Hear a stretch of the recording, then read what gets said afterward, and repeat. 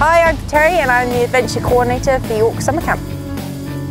The uh, Adventure and Activity Programme in York is about giving campers that come to us an experience that they may not have in everyday life.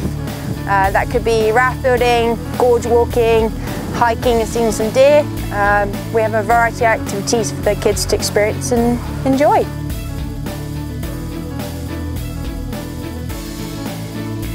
These campers, they come to us, uh, they may begin to be kind of shy at first and through our program we do a lot of team building with them.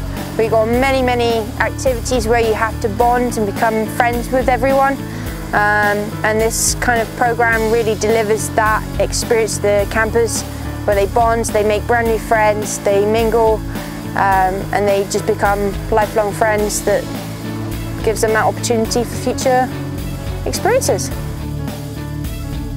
Adventure for me is kind of everything. Um, it's about giving people an experience that they don't already have um, and allowing them to see something new for the first time or experience new things. Um, and the program here gives that in many, many different activities. Um, so it's lots of little experiences like that that kids don't have um, and can really make a huge impact on their life. Um, and they go away with these memories that last forever. And that for me is, is everything.